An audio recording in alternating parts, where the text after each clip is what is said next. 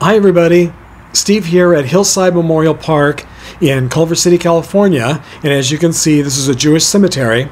And this is one of the most famous Jewish cemeteries in the world, or maybe I should say some of the most famous Jewish people in the world are laid to rest here. Today I'm visiting the final resting place of a former Miss America beauty pageant winner who sadly had a very troubled and scandal filled life. Her life was filled with lots of highs and lows, but it certainly wasn't boring.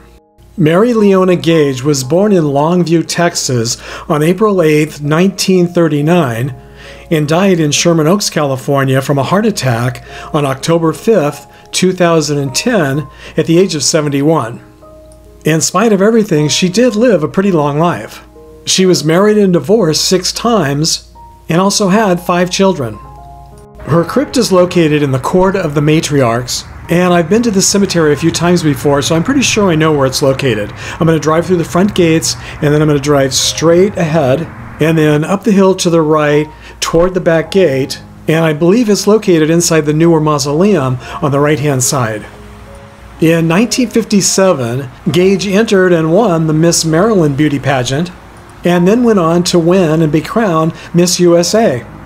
But in one of the biggest scandals of the Miss USA pageant history, she was immediately stripped of her title when it was discovered that she was underage, she was married, and she also had two children.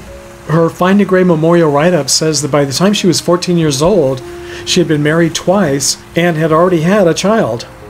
The expulsion did make her famous, though, and she appeared on The Ed Sullivan Show and in other media stories, and that same year she moved to Las Vegas and became a showgirl. And reportedly, she even briefly dated Frank Sinatra. But this wasn't the end of her story or her last brush with fame. Finding this crypt was really fast and easy, surprisingly. A little strange, actually, a little spooky, since I didn't have a GPS, had no idea where I was going. And this mausoleum is huge, and I walked right to her crypt. I mean, I just walked right up to it. I guess she wanted to be found today. In 1960, Gage moved to Hollywood and began appearing in exploitation and horror films such as Tales of Terror and The Scream of the Butterfly. But like so many beautiful young actresses before her, her dreams of fame and fortune in Hollywood came to a dead end, and in 1965 she unsuccessfully attempted to take her own life with an overdose of pills. Her Wikipedia page says that she later wrote an autobiography titled My Name is Leona Gage, Will Somebody Please Help Me? I wasn't able to find any copies of it online, but if any of you have read or remember the book, please share with us in the comments section.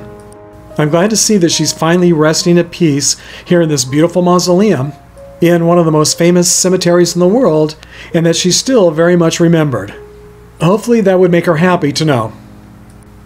Also, for those of you who have asked me to make longer videos, I just want to remind everyone watching that I do have more than 400 videos on this channel to watch.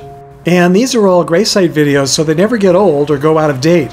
I do want to give a very big shout out and a thank you to all of you who I know have gone back and watched every single one of my videos. But I know it's not something most viewers do, so I just wanted to remind everyone that I have hours and hours and hours of videos to watch if you're interested in a longer session.